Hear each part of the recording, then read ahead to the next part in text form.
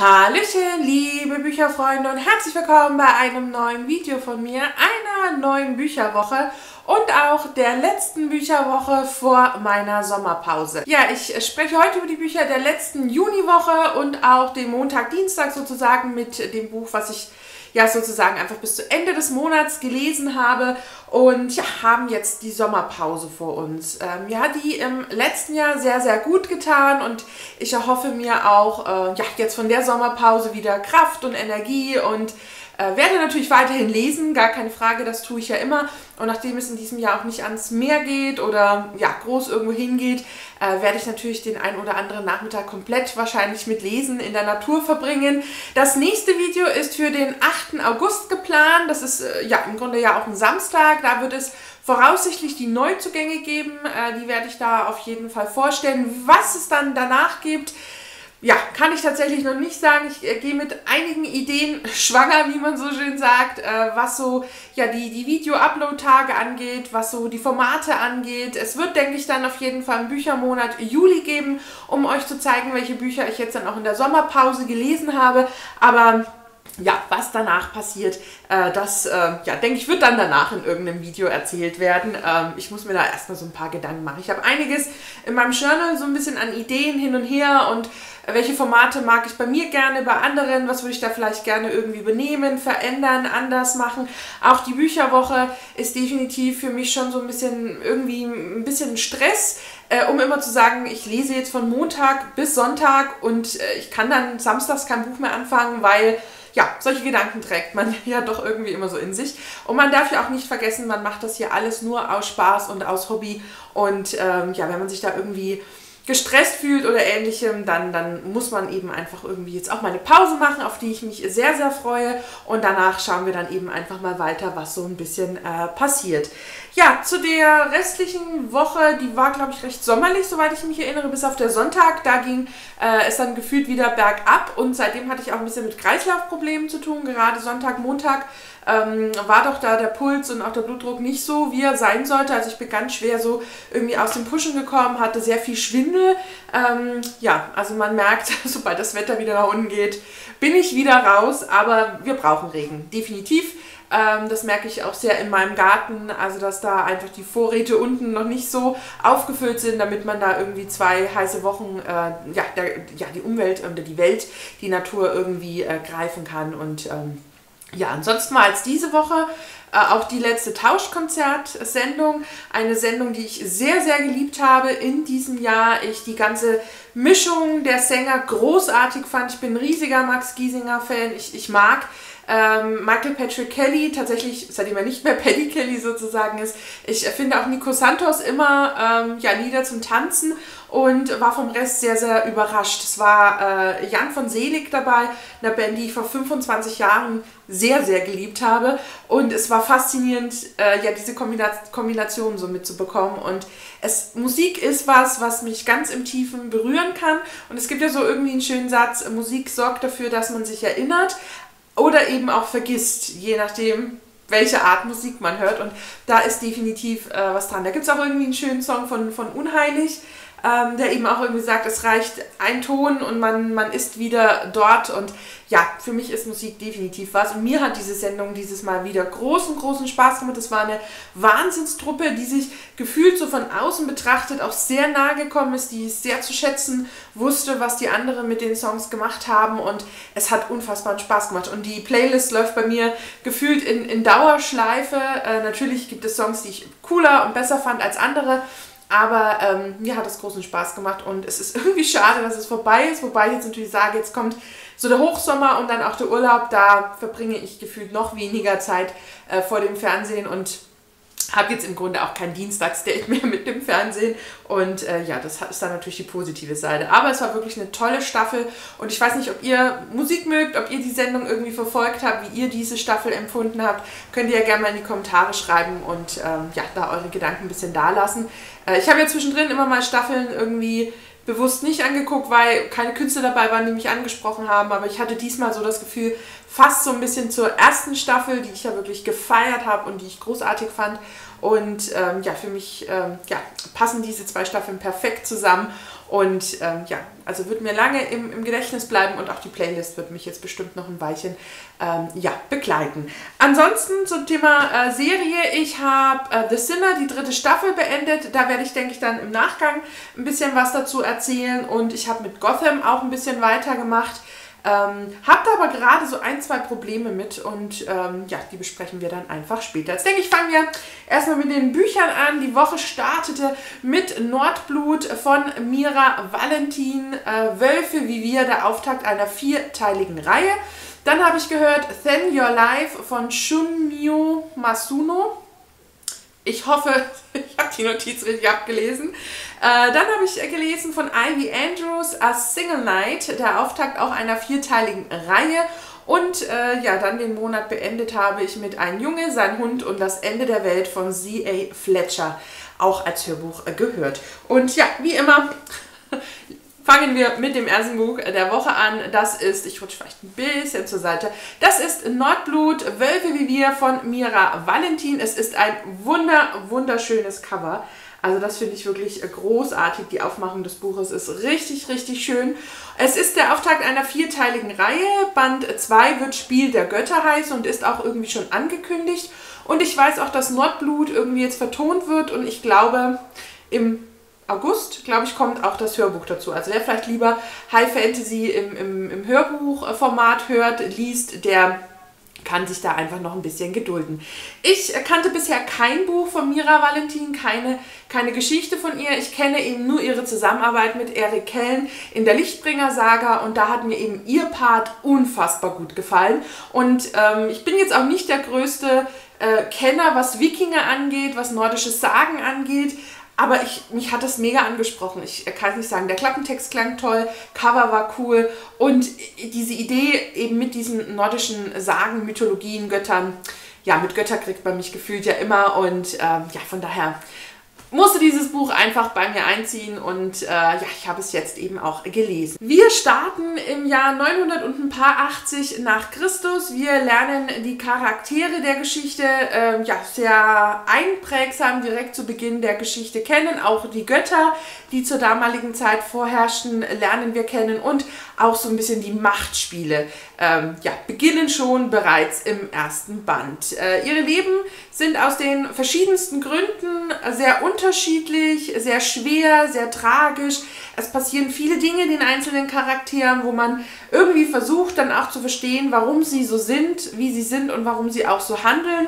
Äh, manches ist aus eigenem Verschulden, äh, aber es gibt eben auch äh, Menschen, ja, die eben durch andere Menschen ihren Verschulden hier eben zu einem tragischen Leben ähm, gekommen sind, beziehungsweise das tragische Leben dann auch leben müssen. Wir erleben hier so ein bisschen die Lebensweise und auch die Geschichte äh, der Wikinger, so ein bisschen auch eben diese nordischen Göttersagen und wie die nordischen Völker, Völker auch missioniert wurden. Auch hier sind im Grunde schon Beginne davon zu spüren, dass man eben dem christlichen Glauben sich zuwendet, dass es nur einen Gott gibt und ähnlichem. Und äh, das fand ich tatsächlich super faszinierend. Doch die Taten, äh, die jetzt diese Menschen und, und, und unsere Protagonisten, unsere Erzähler äh, im Grunde tun, die lassen die Götter aufmerksam werden. Das ist gar nicht von Vorteil. Man möchte sich nicht mit Götter anlegen. Ich möchte tatsächlich zu den einzelnen Erzählsträngen gar nicht so viel erzählen, weil ich es unglaublich viel finde, was den einzelnen Erzählenden, also zum einen haben wir eine Vielzahl an Erzählsträngen, die alle miteinander verwoben sind und ich finde es unglaublich schwer, die noch so gedanklich jetzt auseinander zu bekommen. Es war eine Geschichte, die mich reingezogen hat. Ich habe die ersten 100 Seiten in einem Stück weggesuchtet, inhaliert. Ich war fasziniert von dem Stil, von der Spannung, von dieser bildhaften Erzählweise, von, von, von, von dieser Kraft, die aus der Sprache herausgeht, wie diese Götter ihren Einfluss wirken, wie Menschen sein können und auch wahrscheinlich gewesen sind. Es gibt hier auch historisch belegte Charaktere, die in dem Buch einen Rahmen finden. Ich fand es mega spannend, wie Mira Valentin mit den nordischen Sagen, den vielen Göttern und auch tatsächlich den gewöhnungsbedürftigen Namen an mancher Stelle so ein High-Fantasy-Feeling erstellt hat. Natürlich ist es kein historisch belegter Roman, man, man kann hier schon, oder na, ich spreche hier von High-Fantasy, was eben aber einfach an diesen Sagen und Mythologien angelehnt ist. Und wenn man dann das Googlen anfängt und sieht, wie nah Mira Valentin sich hier an, an Sagen, Mythen gehalten hat. Das ist äh, echt unglaublich, was sie hier äh, wirklich auch studiert hat und recherchiert hat und eingebracht hat. Es ist ein sehr, sehr packender, einnehmender, fesselnder Schreibstil. Es ist eine bildhafte Erzählung. Man hat ähm, ja wirklich die Plätze vor Ort, die, die Wälder, das Meer, ähm, die, diesen ganzen Ort, die Menschen, die Häuser, diese Orte. Das ist wirklich, was ich großartig fand. Es ist, es ist als würde man in so einem Film hüpfen und diese damalige Zeit wirklich vor Augen sehen. Also es funktioniert für mich ganz wunderbar, wie sie diese Kunst des Erzählens hier anwendet und wie sie uns diese Welt von damals näher bringt. Mira hat diese Welt wirklich zum Leben erweckt. Sie hat sie zu ihrer eigenen gemacht und ihre eigene Geschichte daraus erzählt und hat aber eben nicht ähm, ja, dieser Mythologie oder, oder diesen Sagen um diese Götter hat sie einen Bogen gemacht. Nein, sie hat sie mit eingezogen in ihre Geschichte und es gibt eben auch Charaktere äh, im Buch, die es tatsächlich in der echten Geschichte gab, wie es ja auch die Götter sozusagen gegeben hat. Darüber lässt sich natürlich streiten, aber die Menschen haben damals daran geglaubt und die haben hier eben auch ihre große, große Rolle. Ich muss einfach nochmal auf den Stil kommen, denn ich, ich fand den wirklich Wahnsinn. Also seltenst einen solchen wirklich in den Bann reinziehenden Stil erlebt. Äh, fand ich wirklich großes, großes Kino. Also ich war mittendrin, ich äh, wollte nicht mehr aufhören, ich habe es nicht mehr weggelegt. Ähm, ich habe parallel ja das Hörbuch gehört. Das ist tatsächlich dann eher auf der Strecke geblieben, weil ich immer wieder lieber zu dem Buch äh, gegriffen habe es ist einfach der Wahnsinn, wie sie erzählt, wie sie Dialoge erschafft, wie, wie sie mit, mit, mit Worten eine Gewalt der Geschichte sozusagen äh, rüberbringt und so eine Welle. Ich fand das echt großartig. Der Kritikpunkt so ein bisschen an der Geschichte ist für mich, dass es mir fast zu viele Perspektiven waren. Es sind zu viele Sprünge innerhalb der Geschichte, äh, wo ich manchmal doch so einen kurzen, verwirrten Moment hatte, der mich so ein bisschen aus dem Lesefluss gebracht haben. Aber ja, es war da eben manchmal schon anstrengend zu folgen, dabei zu bleiben, nochmal nach, nach drei Perspektivwechseln äh, zu wissen, wo stand der da vorne nochmal, wie ging es weiter. Und dann fügen sich äh, die Geschichten natürlich schon ineinander, aber jeder hat natürlich so seine eigene kleine Geschichte innerhalb der großen Geschichte. Und was ich tatsächlich auch noch ein bisschen schade fand, ist, dass die Perspektiven hier recht ähnlich klangen. Ich bin ja ein Fan und ich weiß, dass es überhaupt kein Muss, äh, wenn man eben äh, Perspektiven schafft, dass man eben merkt, dass man jetzt ein Mann ist, eine Frau ist, ein alter Mann, eine junge Frau, was auch immer, dass man Unterschiede in der Sprache, in den Gedanken, in dem Tun merkt und das mochte ich tatsächlich ja an der Lichtbringer-Saga, dass man beim Protagonisten merkte, der hat es von Eric Kane geschrieben und die Protagonistin von Mira Valentin. Das klappt natürlich wahrscheinlich nur, wenn man wirklich äh, ja, sich da dann in, also zwei Autoren hat oder eben richtig hineinversetzen kann. Es klappt aber auch bei vielen Autoren. Und das war hier leider so ein bisschen eher, also ein Stil, der ja großartig war, aber ich hätte so kleine Feinheiten mir an mancher Stelle doch äh, auch noch ein bisschen gewünscht. Dennoch ist die Story richtig, richtig cool aufgezogen. Es ist ein Wahnsinnsauftakt, der ja ansatzweise nur verspricht, ein großer Epos zu werden. Und ich bin mega gespannt auf Band 2 und wo diese Reihe, diese Machtspielchen, diese nordische Geschichte hingeht. Ich ähm, ja, finde es wirklich höchste Qualität im, im Stil, im Cover, man merkt ein Lektorat, ein Korrektorat, man merkt, dass dieses Buch, auch wenn es ein Self-Publisher-Buch ist, überhaupt in nichts nahe steht eines Verlagsbuches und ähm, ja, ich das einfach nur feiere. Also großes Bücherkino, definitiv ein Highlight, trotz der eineinhalb Kritikpunkte. Ich fand's Hammer. Also wer High Fantasy mag, wer Göttergeschichten, wer mag, wer auch sich so mit diesen nordischen Wikinger-Sagen irgendwie beschäftigen möchte und das auch gerne tut, der ist absolut richtig. Und ähm, ja, Google nicht vergessen, weil da findet man noch um einiges mehr heraus und umso faszinierter war ich dann auch von der Recherche von Mira, was sie hier gezaubert hat. Also ein großartiges Buch, was nachhalt und ich bin mega, mega gespannt auf den zweiten Teil. Gehört habe ich dann Zen Your Life von Shunmio Masuno. ist nicht mein Name. Ähm, ja, ein Buch, das ich schon etwas länger auf meiner Hörliste habe. Also ich habe da schon mal irgendwann, ich glaube mal für einen halben Gutschein vielleicht sogar äh, mir irgendwie besorgt. Äh, die Idee dahinter ist so ein bisschen ähm, ähnlich wie es auch die 1%-Methode von James Clear macht, äh, mit kleinen Schritten, äh, die eben auch zum Ziel führen, dass man im Hier und Jetzt ist und äh, ja, so hatte ich eben einfach äh, Lust auf ein Sachbuch, was in eine ähnliche Richtung äh, geht, weil mir ja das Buch von James Clear unglaublich gut gefallen hat. Und mit dreieinhalb Stunden ist das wirklich auch nur so ein kleiner Happen, äh, der aber ähm, ja, mir sehr, sehr gut äh, gefallen hat. Der Sprecher ist Herbert Schäfer, der hat eine sehr, sehr angenehme Erzählstimme, eine sehr schöne Betonung und hat für mich dieses Thema ähm, nicht zu abstrakt wirken lassen, sondern hat es wirklich sehr angenehm erzählt. Ähm, die Frage, die sich der Autor stellt, der ist ein Mönch, Gartendesigner und auch Professor.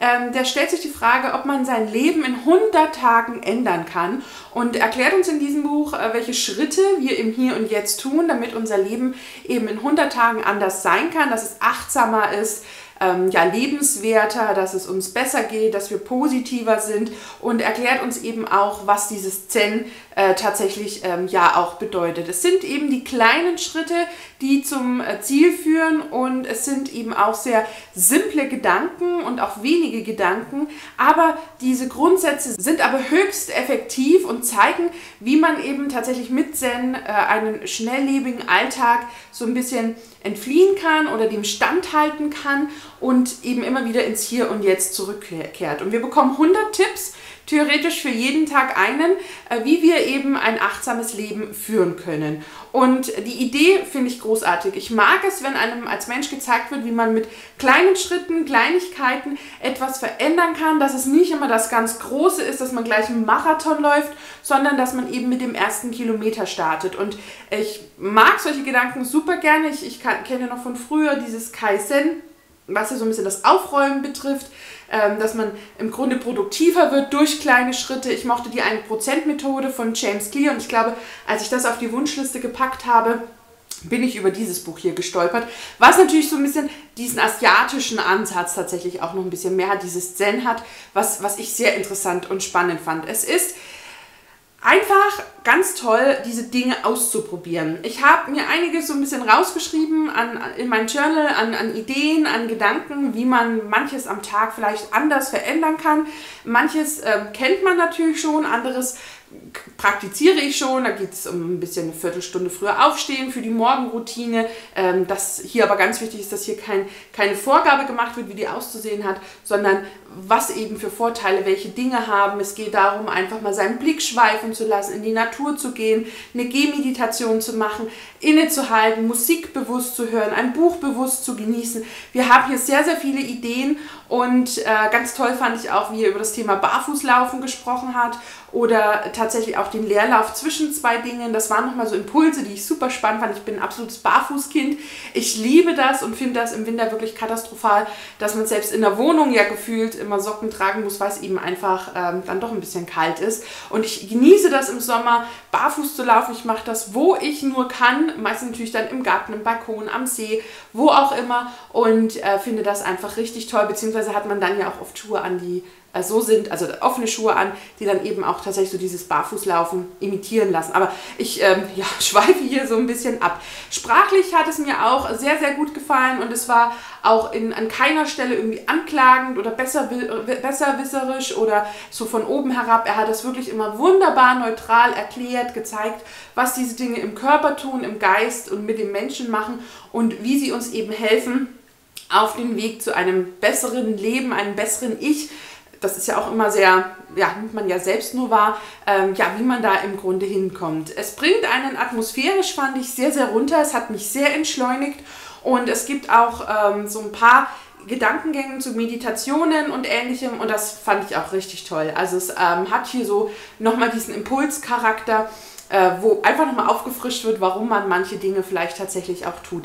Hat mir sehr gut gefallen und wirklich mit, mit seinen dreieinhalb Stunden nicht zu kurz, nicht zu lang.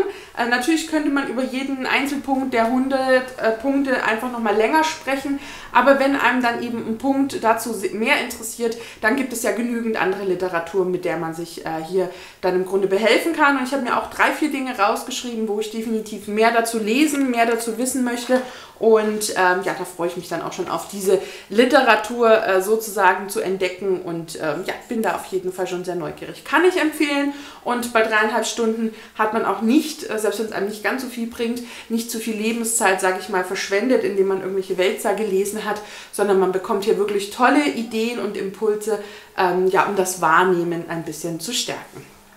Dann ein Buchtipp von der lieben Jasmin Zipperling und zwar A Single Night von Ivy Andrews. Ich bin auf das Buch aufmerksam geworden, ja, durch ein Foto von der lieben äh, Zippi, die hier ein Kleid gestaltet hat äh, aus lauter 1-Dollar-Noten.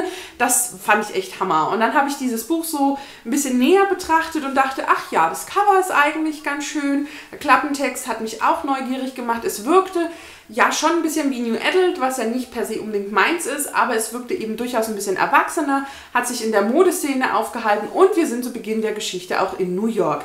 Es ist der erste Band der Love-Reihe. Band 2 erscheint bereits im Juli und ich glaube bis Dezember sind dann alle vier Bände da.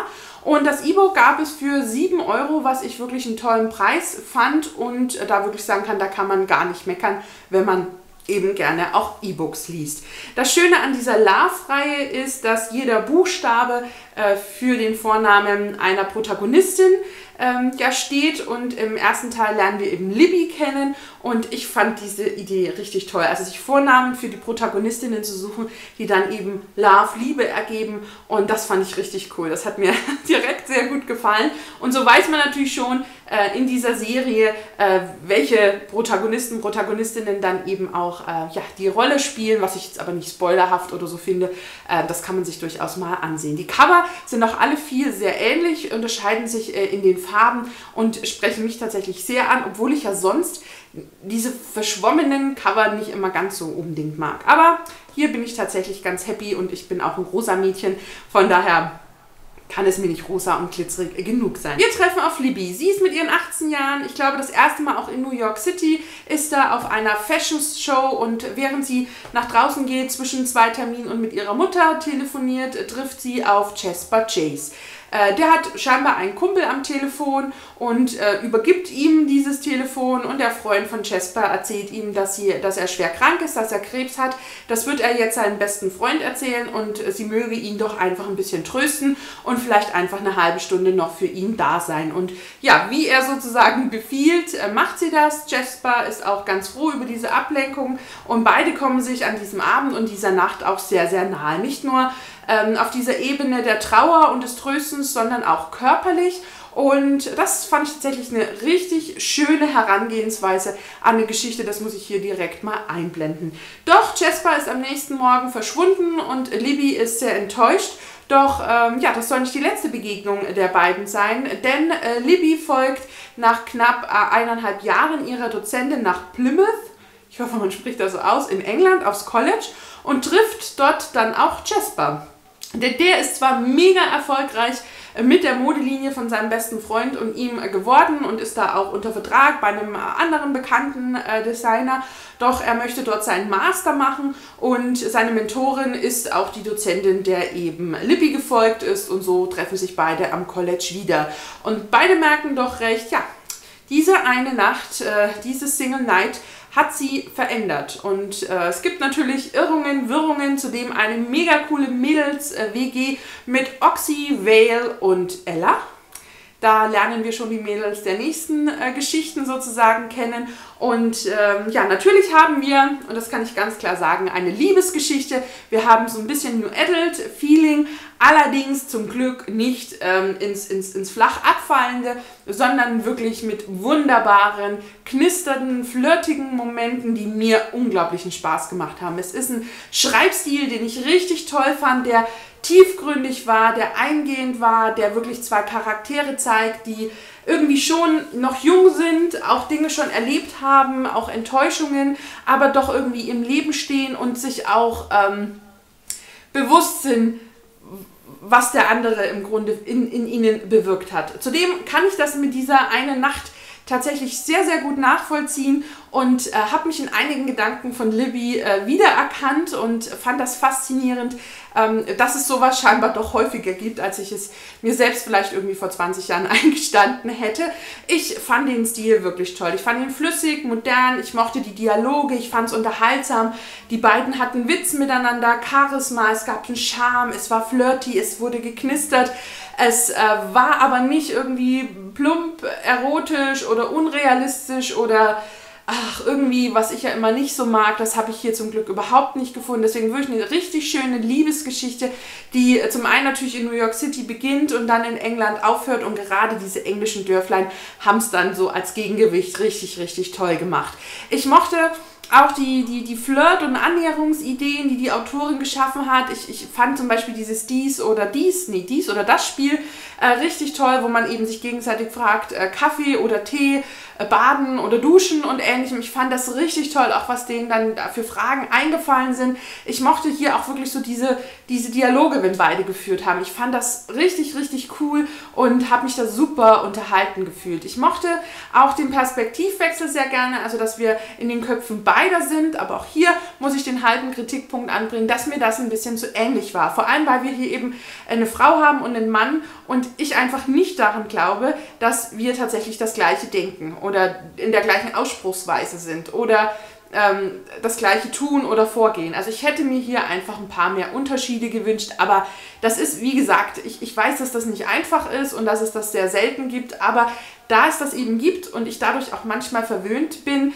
ähm, man muss nur an, an, an George R. R. Martin denken oder auch an, an J.R.R. Tolkien, ähm, da spricht eben ein Frodo mit einem Sam anders als ein Pip mit einem Mary. Also das ist einfach so. Oder ein Aragorn hat auch nochmal eine ganz andere Ausdrucksweise. Also das funktioniert, aber ich kann verstehen, dass das eben auch doch ein bisschen schwieriger ist. Was ich richtig toll fand, war auch, dass die Nebencharaktere schon sehr, sehr präsent waren. Die werden uns nicht beiläufig mal erzählt. Nein, wir bekommen ein Bild von der Mädels-WG, von den Freunden, von den Kommilitonen, von ja, allem drumherum. Wir bekommen ein Bild davon. Wir ähm, ja, haben eben schon ein Gefühl für die. Und wenn man dann eben noch weiß, wie diese Kombination so ein bisschen in den nächsten Bänden ist, dann weiß man schon, was einen für spannende Geschichten erwarten oder auch überraschende. Und ich freue mich da einfach sehr auf die weiteren Bände. Ich fand es wirklich eine wunderbare Liebesgeschichte mit wenig Kitsch und wenig Drama und umso mehr Mitgefühl, Emotion und wirklich richtig schönen Momenten. Und ja, die hat mich tatsächlich einfach mal richtig schön abtauchen lassen, äh, was ich äh, ja nach The Sinner als Serie äh, definitiv auch gebraucht habe. Und ja, mir hat es großen Spaß gemacht. Und ich, wer Liebesgeschichten mag, der sollte sich äh, Single Night unbedingt ansehen. Ich fand es richtig, richtig toll. Und das abschließende Hörbuch des Monats Juni war dann Ein Junge, sein Hund und das Ende der Welt von C.A. Fletcher. Das Buch ist mir aufgefallen durch das wunder, wunderschöne Cover und auch durch den spannenden Klappentext, der so ein bisschen einen postapokalyptischen Stil hatte und äh, ja, mich im Grunde direkt äh, gefesselt hat. Und äh, das Buch wird gesprochen von Vanya Müs, einem Sprecher, den ich sehr, sehr angenehm finde, der mir bis jetzt bewusst noch nicht aufgefallen ist, der aber hier seinen Job auf jeden Fall sehr, sehr gut gemacht hat. Es ist wohl der Debütroman des Autors. Ähm, ja, aber so richtig mehr herausgefunden über den Autor habe ich noch nicht, aber dass äh, das wohl tatsächlich sein erstes Buch ist. Ja, dann hat auch noch äh, jetzt letzte Woche die liebe Steffi vom Buchschnack äh, in ihrem Hörgenuss davon geschwärmt und das ähm, ja, hatte ich dann im Grunde schon zum Anlass genommen, da ich die Schwärmerei vorher schon mitbekommen hatte, es dann, ich glaube, ich habe ab Mittwoch oder ab Donnerstag dann das Hören angefangen. Ähm, ja, wir sind hier in einer postapokalyptischen Geschichte. Wir haben also Science Fiction und wir treffen hier auf Chris. Äh, der lebt in einer Zeit, in der die Menschheit fast ausgestorben ist. Nur noch wenige tausend Menschen leben verteilt auf der Welt. Grenzen, Regierungen oder Gesetze, ja, da gibt es überhaupt nichts mehr. Da ist jeder irgendwie für sich und für seine Insel. Und so lebt Chris äh, mit äh, seinen Eltern und Geschwistern sowie den beiden Terriern Jess und Chip. Jess und Chip auf einer Insel im Atlantik und ein bisschen westlich, glaube ich, von Schottland, wenn ich mich recht erinnere, äh, wo sie sich äh, ja durch das Fischen und Jagen ja selbst versorgen und ähm, ja, hier im Grunde auch ein, ein ganz angenehmes Leben führen. Ähm, es gab einen Unfall, der die Familie so ein bisschen äh, erschüttert hat, was mit Chris Schwester zu tun hat und dann auch dadurch mit der, mit der Schock- und, und Bearbeitungswirkung mit seiner Mutter. Also es ist in der Familie nicht alles ganz so leicht. Eines Tages kommt ein, ein Fremder mit einem Segelboot zur Familie und bietet ihnen ein Tauschgeschäft an. Und ähm, ja, alle essen so ein bisschen abends miteinander und ähm, es gibt Orangenmarmelade zu essen und die hat es förmlich in sich. Und äh, nur Chris verzichtet so ein bisschen auf dieses Essen und am nächsten Tag ist sowohl der Fremde weg als auch äh, ja, ein Hund der Familie. Und Chris ähm, ja, kann das überhaupt nicht äh, überwinden, ähm, segelt hinterher und erlebt hier eine Abenteuerreise auf äh, seinem Boot Sweet Hope und äh, er ist bereit, alles zu riskieren, die Welt zu umfahren, um eben seine, seine Hündin zu retten und er begibt sich eben auch zum, zum ersten Mal in seinem Leben auf das Festland. Bisher kannte er wirklich nur das Wasser und auch die Inseln, was er eben ja auch nur aus Erzählungen kennt. Und es ist eine Abenteuerreise, die ja tatsächlich an mancher Stelle nicht spannender sein könnte und auch sehr, sehr bildhaft erzählt wird. Wir begleiten hier einen Jungen durch eine Welt, die anders ist als unsere heutige, die aber sich auch gar nicht so anfühlt, wie wenn sie so weit in der Zukunft wäre, was natürlich anlässlich so der jetzigen Pandemie so ein bisschen gruselig tatsächlich an mancher Stelle ist, aber ähm, ja, mich das tatsächlich gar nicht weiter irgendwie belastet oder ja, irgendwie hat. Also das äh, konnte ich tatsächlich ganz gut trennen. Ich mag Geschichten, die in der Zukunft spielen. Ich mag es auch so ein bisschen, wenn man was Postapokalyptisches hat und es müssen dabei nicht immer Zombies sein oder Seuchen sein oder ähnlichem. Äh, ich finde das tatsächlich ganz spannend, dass man hier relativ wenig weiß, weil eben auch unser Protagonist nicht sehr viel weiß. Und ich finde es schön, dass er uns mit dieser Art des Tagebuchschreibens, wie er uns die Geschichte erzählt, ähm, dass wir eben doch viel wissen, aber unser Wissen dennoch begrenzt ist. Und uns das auch immer mal wieder klar gemacht wird, dass er ja nur davon erzählen kann, was er eben weiß. Und ja, ich, ich fand das total toll. Also es ist eben so überhaupt keine unrealistische Zeichnung der Zukunft und ähm, auch durch dieses Tagebuch erzählen hat, hat mich Chris total gehabt. Also er hat mich richtig mitgerissen, er hat mich auch immer wieder mit der direkten Ansprache abgeholt und ich liebe einfach Ich-Perspektiven. Ich, ich mag sowas unglaublich gerne und lese sowas auch super, super gerne. Und man kommt, finde ich, immer so dem Protagonisten sehr, sehr, sehr nah und eben auch der Welt. Und wenn uns äh, jemand mitnimmt, wenn er etwas Neues entdeckt, dann finde ich das umso spannender, wenn das in der Ich-Perspektive so ein bisschen passiert. Was ich ein bisschen schade fand, ist, war, dass der Schreibstil an mancher Stelle ein bisschen sperrig war. Also es waren manchmal sehr lange verschachtelte Sätze und ähm, es hat sich manchmal nicht ganz rund angefühlt, äh, was tatsächlich beim Hören fand ich manchmal ein bisschen schwerer war. Ich weiß nicht, ob es beim Lesen leichter gewesen wäre, gerade diese langen Sätze, dann hätte man sie vielleicht tatsächlich nochmal gelesen oder ähm, vielleicht wäre das Sperrige dann gar nicht so aufgefallen. Das hat mich an manchen, in manchen Sätzen, in manchen Beschreibungen so ein bisschen ja, unterbrochen, ein bisschen gestört, aber es machte das einfach so ein bisschen schwerer zum Folgen. Aber die Geschichte ist so groß, sie handelt von Mut und Liebe und Freundschaft und Tierliebe und so ein bisschen Abenteuer und auch so der Menschlichkeit. Und man spürt das in jedem Satz, in, in jedem Gedanken von Chris, man, man, man, man, man, man spürt das Leben da drin. Und das war unfassbar schön. Das hat mich richtig gepackt und hat mich richtig begeistert und hat mich sehr, sehr gefesselt. Und also ich, ich fand das wirklich großartig erzählt. Ich fand die Idee mega, ich fand die Umsetzung toll. Ich mochte diese Abenteuerreise. Ich mochte, dass wir die Welt kennenlernen, die wir ja eigentlich kennen, die aber dort komplett anders ist. Und ich mag diesen Aspekt, dass, dass jemand eine Zukunftsvision zeichnet und uns da mitnimmt und uns die zeigt. Und äh, äh, was ich auch sehr beeindruckend fand, war die Liebe von, von Chris zu seinen Hunden. Die war so tiefgründig, so echt. Es war sehr emotional und ich, ich konnte mich da als tierlieber Mensch sehr, sehr gut einfinden. Denn ich würde, wenn jemand mir meine Katze klaut, würde ich genauso irgendwo hinreißen und die zurückholen wollen. Ganz egal, wohin ich muss. Und ich, ich kann das so gut nachvollziehen. Auch seine Gedanken dazu, seine Gefühle, wenn er selbst versucht, sachlich zu bleiben, obwohl das bei so einem Thema nicht geht. Und wenn man eben selbst einfach äh, seine Tiere irgendwie als Familienmitglieder sieht, ähm, dann ist das, glaube ich, auch sehr schwierig, da ähm, ja im Grunde ganz neutral zu bleiben. Das schafft man einfach nicht. Und das finde ich, hat, hat C.A. Fletcher hier richtig toll erzählt. Also es ist unfassbar große Tierliebe und aber auch eine Menschenfreudigkeit und es ist einfach toll. Und dann gibt es eben Wendungen, die ich nicht habe kommen sehen, die mich äh, total aus den Latschen hat fallen lassen. Und ja, also großartig. Eine tolle, tolle Geschichte. Wenn sie ein bisschen unsperriger gewesen wäre, wäre es wahrscheinlich auch ein absolutes Highlight. So ist es nur ein kleines Highlight.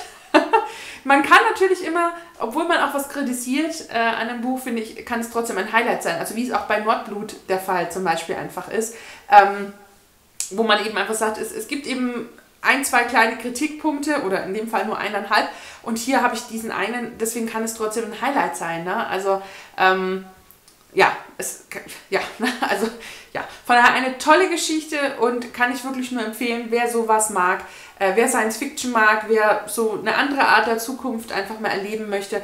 Ähm, ich finde, der hat, kann hier auf jeden Fall ganz viel Spaß haben und bekommt eine ganz wunderbare Geschichte erzählt. Ja, vier tolle Bücher in dieser Woche. Man kann es gar nicht anders äh, sagen. Äh, wenn nicht ganz so highlightig vielleicht wie letzte Woche, äh, hat mich diese Bücherwoche und plus Montag, Dienstag sehr, sehr gut unterhalten und äh, hat auch richtig Spaß gemacht. Also richtig schön, wenn man so in seinem Leseflow kommt und ähm, ja, da so richtig der Welle sozusagen dann surfen. Dann habe ich ähm, letzte Woche schon erzählt, dass ich mit The Sinner der dritten Staffel begonnen habe und ich habe die dann auch am Montag, glaube ich, äh, beendet.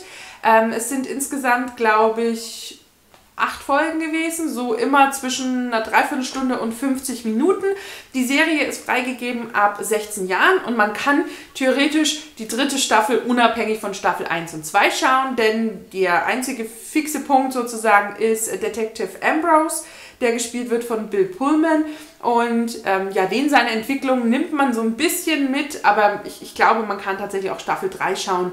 Ähm, ohne dass man Staffel 1 und 2 kennt. Und hier muss ich schon direkt sagen, die dritte Staffel hat mich sehr, sehr gecatcht.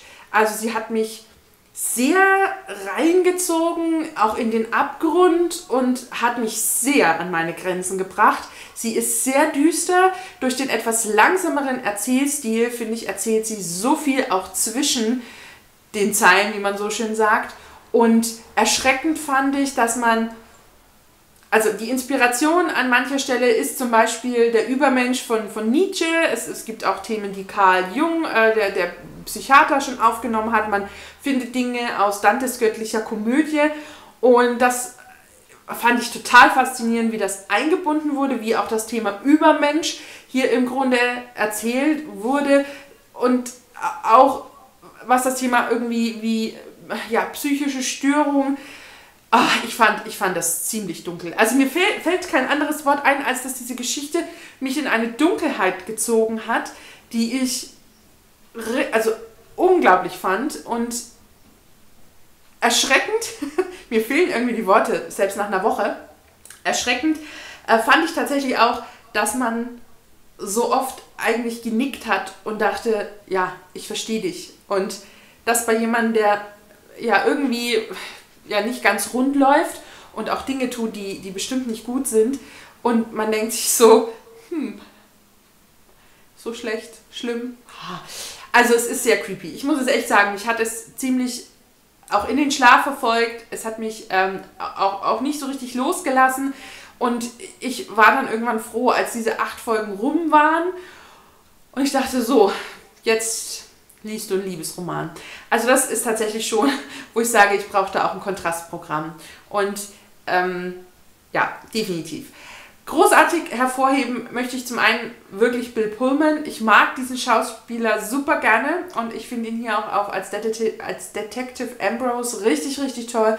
Und ich bin ein absoluter Fan von Matt Bomer. Der spielt hier den Jamie, hat also ja, den, den Hauptcharakter, wenn man so möchte, und der ist großartig. Was der für ein Minenspiel hat, in dem sein Gesicht sieht man alles oder nichts. Und das finde ich großartig. Was der schafft, über seine Augen, über den Mund uns zu transportieren, das war wirklich der Hammer. Zudem hat Matt, ähm, ähm, Matt Baumer hier die Stimme von Simon Jäger. Ach, und ich liebe Simon Jäger, muss ich mehr sagen? Ich glaube nicht. Ich weiß gar nicht, ob er das tatsächlich grundsätzlich hat oder jetzt nur äh, tatsächlich für The Sinner. Weil ich kenne ihn, ich glaube, das erste Mal über den Weg gelaufen ist mir Matt Bomer äh, bei In Time. Das ist ein Film, äh, auch so düstere Science Fiction, wo man eine Uhr hat laufen lassen, mit der man auch bezahlt, mit Justin Timberlake und ähm, ach, ich weiß gar nicht, wie sie alle heißen. ja. Ach, Namen sind nur Schall und Rauch. Ähm, da sind wir das erste Mal über den Weg gelaufen und dann habe ich ihn in White äh, Collar gesehen. Und ich weiß gar nicht, hatte er da auch schon die Stimme von Simon Jäger? Ich bin mir gerade nicht sicher. Aber das war für mich die perfekte Kombi. Ich fand Simon Jäger, er klingt natürlich immer, finde ich, wie Matt Damon oder wie Heath Ledger, aber er schafft es immer, doch so eine andere Farbnote reinzubringen, wenn er dann eben mal jemand anderen spricht. Und das hat er hier bei Matt Bomer geschafft. Ich, also ich fand diese Serie so dunkel und unheimlich und düster sie war, ich fand sie richtig toll. Also sie hat mich schon ganz schön gefesselt und mit vielen Gedankengängen, die ich dann natürlich auch mal gegoogelt habe, äh, auch sehr beeindruckt. Also allein als ich dann immer mal Dantes göttliche Komödie erkannte und ich dachte, ah, das ist ein geiler Kontext.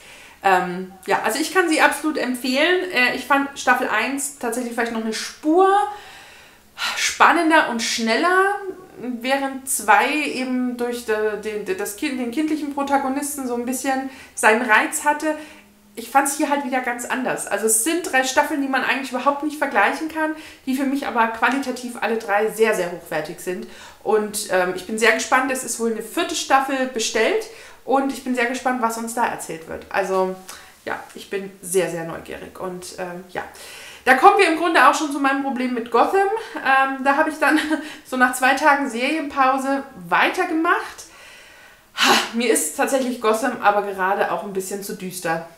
Ich muss das echt sagen. Es gab da eine Szene, die hat mich wirklich in den Schlaf verfolgt und die war so schlimm, dass ich wirklich aus dem Schlaf aufgeschreckt bin und erstmal schauen musste, wo ich eigentlich bin, wer ich bin und wann ich bin. Und ja, das war tatsächlich so für mich der Moment, wo ich dachte, hm, ich glaube, es war einfach zu viel Düsternis in der Woche und ähm, ja, ich muss vielleicht Gotham bei Tag schauen.